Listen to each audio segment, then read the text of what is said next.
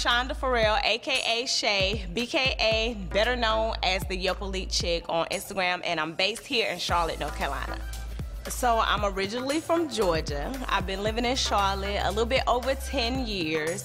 Um, my background is banking. Um, a couple of years ago, I started this whole food blog on Instagram. I started it for fun.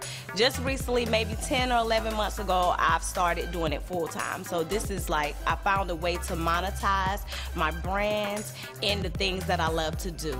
And the thing that kind of sets me apart is I'm not just food, I'm food, travel, lifestyle, hidden gems, and a lot of that is involving food as well.